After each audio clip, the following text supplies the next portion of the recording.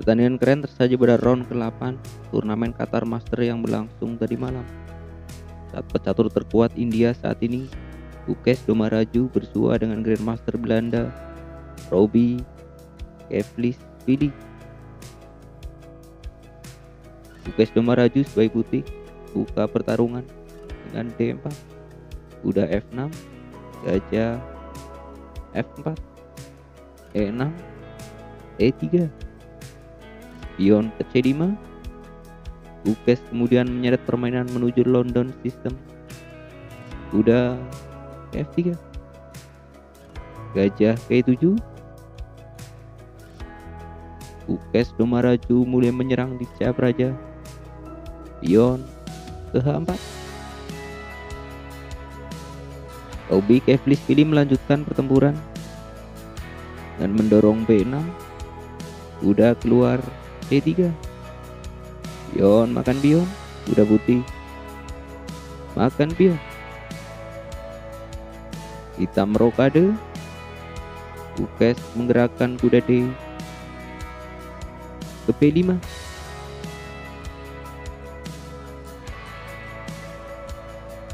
Robi menjawab dengan kuda ke-8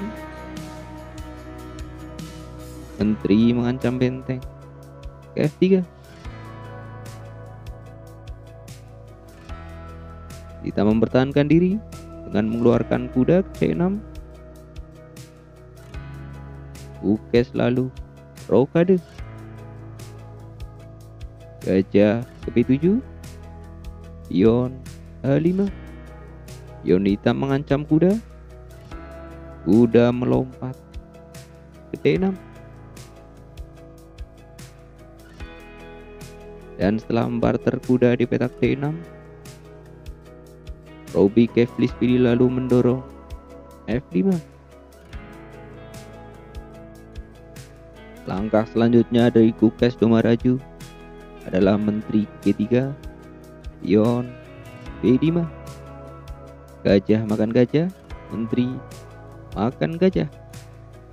Kukes kemudian menebar ancaman dengan menggerakkan sang menteri ke C7 mengancam gajah, dan juga mengancam piunti. Kita mengatasi kedua problem tersebut dengan gajah 8. Ukes terus menyerang. Kali ini ia mengorbankan pion keempat. Hitam tidak langsung mengambil pion, ia terlebih dahulu mengancam kuda dengan pion ke B4. Baru setelah kuda putih menghindar ke petak A4, kita menggerakkan pion, makan pion.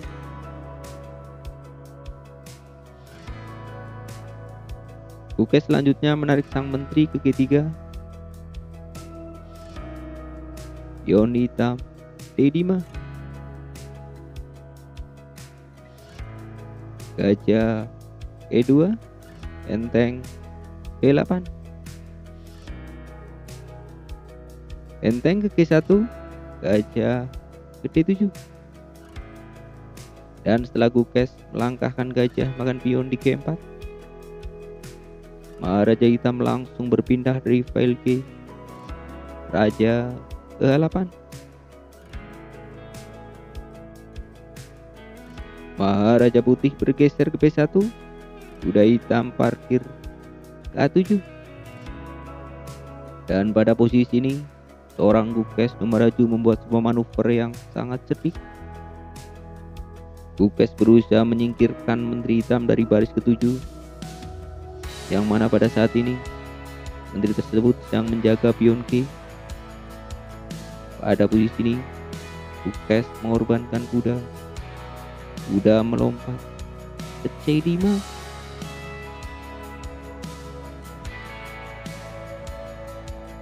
dan sudah sang menteri hitam menyatap kuda, Bukes kembali melakukan pengorbanan. Gajah makan pion. Bagaimana jika sekarang kita menggerakkan gajah makan gajah? Maka ada hal gawat yang terjadi Hanya saja Sang Maharaja Hitam akan sangat murka karena kakmat satu langkah. Tike 7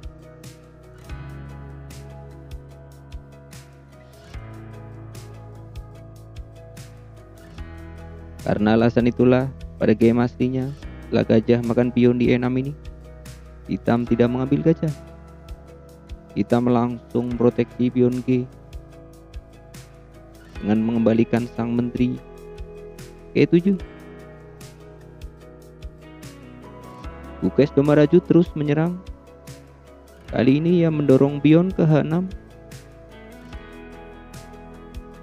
apabila sekarang kita menjawab dengan gajah makan gajah maka pion makan pion raja ke 8 pion makan benteng raja makan menteri menteri makan benteng Cat. dan tentu saja di posisi seperti ini Bukes Domaraju akan menang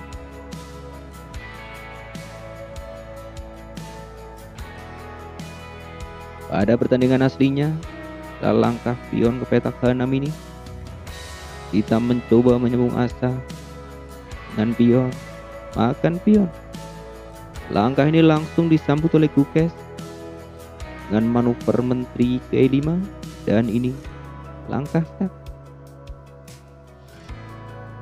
menteri menutup skak di F6 langsung berhadapan dengan sebuah manuver yang sangat powerful dari Gukes sebuah langkah yang langsung membuat hitam KO.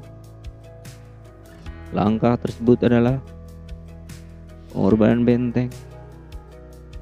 Ke G8 dan setelah langkah ini hitam langsung menyerah. Tentu saja hitam menyerah karena jika dilanjutkan benteng makan benteng akan dibalas dengan menteri. Makan menteri. Benteng menutup skak 37 Benteng putih ke 1 Dan pastinya Sang Maharaja dari hitam Tidak akan mungkin terselamatkan